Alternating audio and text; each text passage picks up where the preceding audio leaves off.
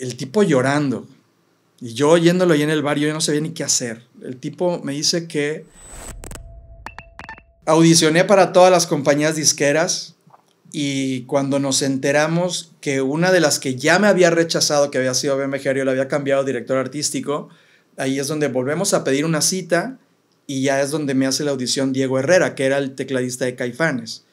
Entonces le, fue la vez que peor canté en una audición, pero lo que hice fue tratar de interpretar mucho más.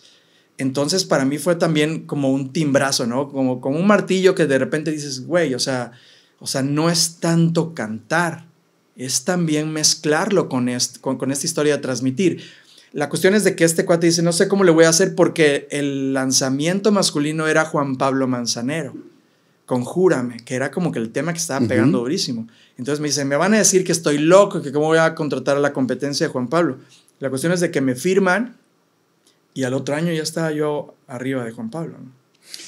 Eh, ese año te pones a escribir o son canciones que ellos te imponen, porque también se, usaba mucho que ellos decidían hacia dónde iba el material. Claro. Eh, pero tú sales con, con, canciones tuyas. Salí con una canción mía, pero eh, José Ramón Flores, que fue el productor del disco, eh, él básicamente monopolizaba la producción.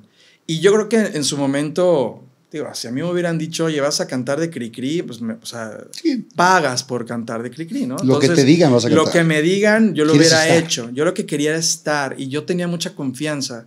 Tenía mucha confianza. Aparte que había tomado ya varios cursos este, motivacionales, porque yo creía, yo estaba seguro que lo mío era un tema eh, eh, emocional. O sea, el estar arriba o estar abajo para mí era un tema de, yo cómo encontraba esos detonantes, ¿no?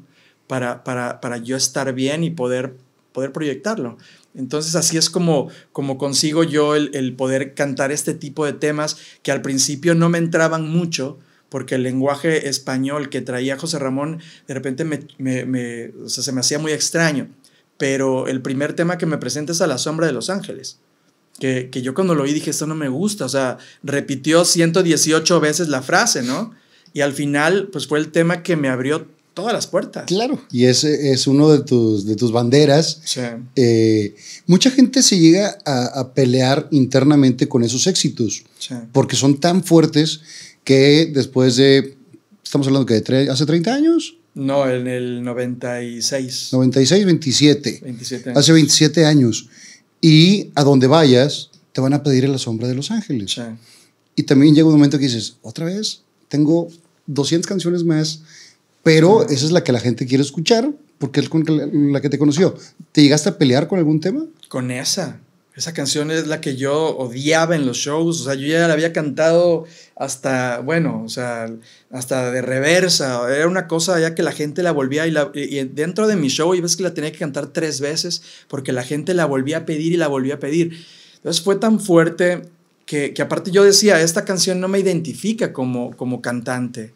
O sea, para mí aliento con aliento era mi bandera. Yo quería cantar ese tipo de canciones fuertes que hablaban de una relación de pareja y todo. El tema es de que, de que fíjate lo que, lo que es la madurez o el tiempo o, de repente la persona, eh, muchos años después, yo seguía odiando a la sombra de los ángeles y estaba yo cantando en México en un bar en Polanco y de repente llega un tipo borracho y me dice, ¿tú les gusta volar? yo sí. Y me dice, ¿me puedes cantar una canción? Y yo, y me dice, me saca, se mete la mano a la bolsa y me saca como 7 mil pesos y me dice, cántame una, ya traigo 7 mil 500 pesos, por favor, y, o sea, acéptamelos y cántame una canción. Y yo le dije, no, o sea, no soy mariachi. Perdón para todos nuestros amigos mariachis. Con respeto a los mariachis. Con respeto pero, a los mariachis, pero le dije, güey, yo no canto así por canción, es una canción y todo eso, todo ese rollo, ¿no? La cuestión es de que agarre y me dice, o sea, el tipo así con el ojo y la, y la ojo, remi. ojo remi.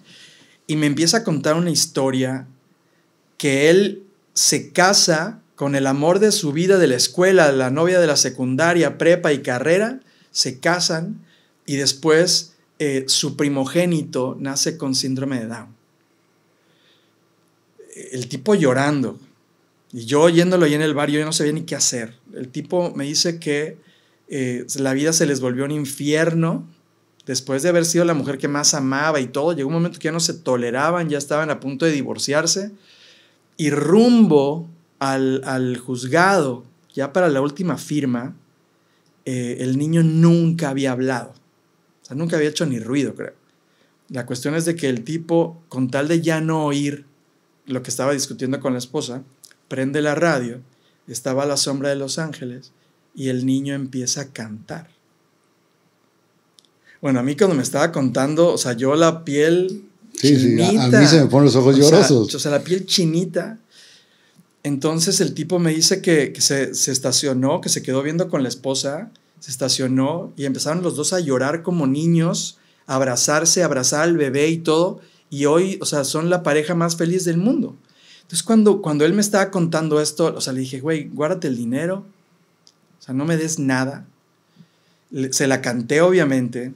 Eh, y, y, para mí fue, fue, creo que, uno de los momentos más hermosos de mi vida, porque, porque dije, coño, tengo tantos años yo repelando esta canción y, y tengo que darle gracias a Dios, porque tuve una canción como La Sombra de los Ángeles. Mucha gente hubiera matado por tener una canción así.